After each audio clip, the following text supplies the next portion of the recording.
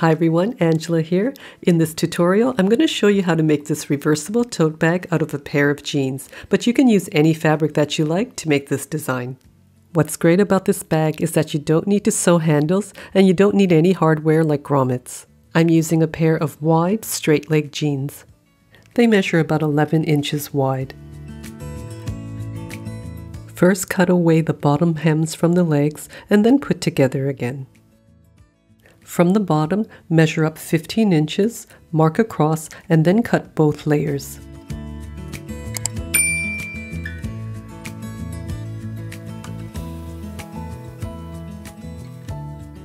I want to feature this top stitch seam in the center of the bag, so I'm just going to cut open the plain seams. Open them up, match the seams with wrong sides together. From the center seam, measure across 9.5 inches on each side at the top and bottom. Join those marks with a ruler and cut. You can find links for the tools I use down in the description below. At the bottom, cut 2.5 inch squares on each corner. Turn around to the top edge. From the center, mark 3 inches then another 2 inches, and then repeat on the other side. At those marks, cut small notches through both layers. For the lining, I'm using 100% cotton and folding it with right sides together. Place one of the outer pieces on top with the side parallel to the selvage edge or lengthwise grain. Don't include any of the selvage edge. Cut out exactly the same size and then clip the sides and bottom. We'll be leaving an opening here on the side. Place the outer layers right sides together, match that center seam, clip the sides and bottom. I'm using a Brother NV50S sewing machine. The link for this and the tools I use are in the description below. Make sure to use coupon code NOTCHES NV50S for the special offer. Increase the stitch length to 4. With a 3 8 of an inch seam allowance, start at the top edge, back tack, stitch, and then back tack to finish. Don't pull any thread out, just lift your foot and start the next edge on the bottom. This will save you thread and it'll also help avoid bird nesting or tangling of the threads underneath. For the lining, back tack at the top, stitch down about 2 or 3 inches and back tack, skip over about 4 inches, back tack again, and then continue stitching around to the top and trim all your threads.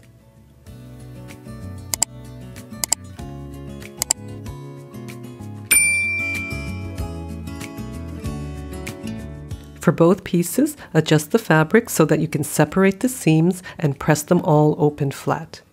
Try not to press down on the other parts of the fabric. Flatten out the corners, match the edges and the center seams, then clip in place. Again with a 3 8 of an inch seam allowance, stitch across all four corners, back tacking at the start and finish. For the handle loops, I'm using the denim again to cut four pieces, two and a half inches by four inches. For each piece, have wrong side up, fold in half to find the center, then fold so that the short ends line up in the middle and press. For the handles, I'm using cotton cording that's just a little bit more than quarter of an inch or seven and a half millimeters. You can also use a slightly thicker rope. Measure out a length of 55 inches, wrap some tape around it so it doesn't unravel, and then cut down the center. You'll need two pieces at this length. Hold on to the cord about 6 inches from the end. 4 inches further down, grab it and then create a small loop. This part of the cord should be sitting on top, hang on to it and then feed the other end from underneath and pull through. Leave it as a slightly loose overhand knot. About 8 inches over, create another loop, but this time have it so that the cord sits underneath. Hold on to the loop and feed the end through, but this time from the top. The knots should be a mirror image of each other. Take the end, feed it through the knot from underneath, and then feed it through the next knot from the top. Adjust it so that you have about 6 inches at each end from the knot. To connect the strap ends, cut two pieces of fabric about an inch by two inches. Place the ends of the cords along the width of the fabric, butt the ends together and stitch in place. Wrap the fabric all around and then stitch securely on each side. For added strength, stitch lengthwise a few times along the fabric. Turn the outer layer right side out. Locate where the notches are and then place a strap above. Place the end of the strap inside the loop, fold it in half lining up the edges, then center that between the two notches and clip in place. Repeat on the other end and for the strap on the other side. Stitch quarter of an inch from the edge on each loop to hold them in place. No need to back tack. Place the bag inside the lining with right sides together, match the side seams and clip in place. Then match the top edges and clip all around. Using a half inch seam allowance, stitch around the top. The edge of the presser foot will be right beside the bulk of the loop. To finish, just overlap the stitching a couple of inches. Turn the bag right side out Pull on both sides of the fabric and press that top seam all around nice and flat.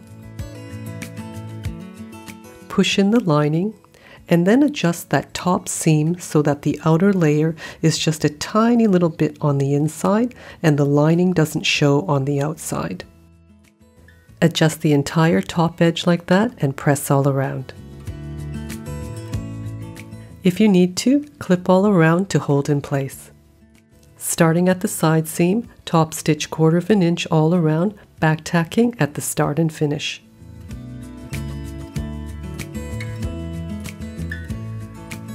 If you want, you can just finish by edge stitching the opening closed on the lining.